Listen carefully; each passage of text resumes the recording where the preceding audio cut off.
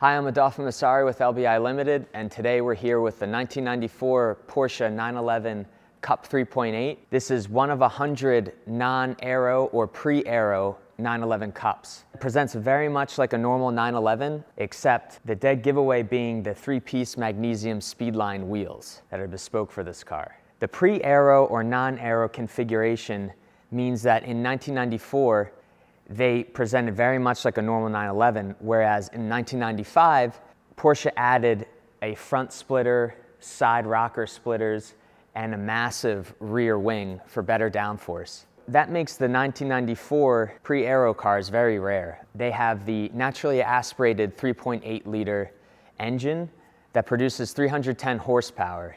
These cars came from the factory totally stripped out.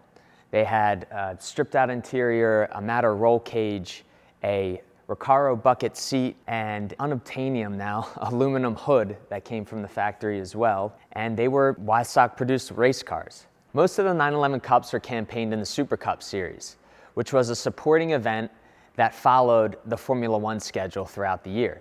So these cars raced at some of the most premier tracks in the world. Tracks like the Hockenheim Ring, Barcelona, Monaco, all of the really great historic and iconic tracks. This car in particular was dispatched to Fabien Giroix at Giroix Racing. Fabien Giroix won two events during the 1994 Super Cup season, one at Barcelona and the other at Hockenheim. His race in Barcelona was actually very eventful. There was two laps to go and he was sitting in fourth place. The two front runners got into an accident with each other and were DNF'd out of the race. And then the person in third place actually had a mechanical failure right before the finish line, and he was able to pass everyone and win the race. This car, being as special as it is, qualifies you for a whole host of events. Events ranging from culture-driven casual events like Radwood, and also special, highly selective Porsche events like Rennsport.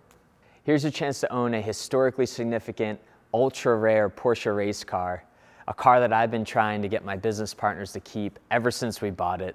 I think it's one of the coolest Porsche race cars to come through our doors since we started this business.